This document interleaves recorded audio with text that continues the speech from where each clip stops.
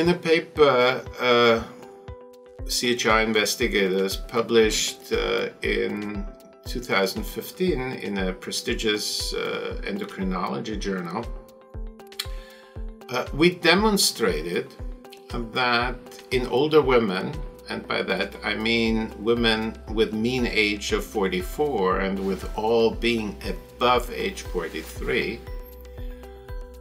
in those women, early egg retrieval doubled pregnancy chances. For those women who have the ability to still produce eggs and embryos, it demonstrates that we are steadily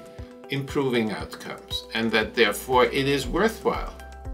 giving them the chance of trying to conceive with their own eggs rather than sending them right away uh, into donation.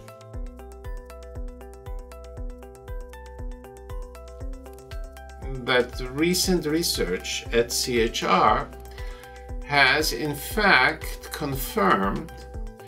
that women with premature ovarian aging see exactly the same molecular profile developing inside their ovaries and their follicles as we previously observed in much older women above age 43. In other words,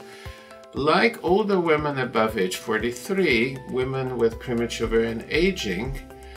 uh, demonstrate molecular evidence for what we call premature luteinization, meaning that the follicles mature quicker and therefore the eggs in those follicles mature quicker in parallel, which also means that they become over mature, overcooked in those follicles.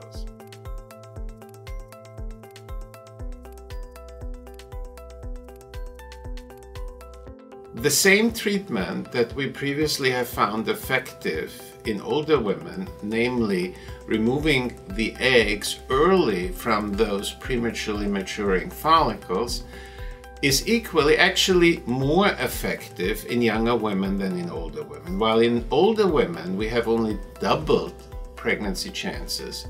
in younger women we have seen a tripling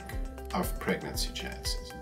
So we are looking forward to being even more successful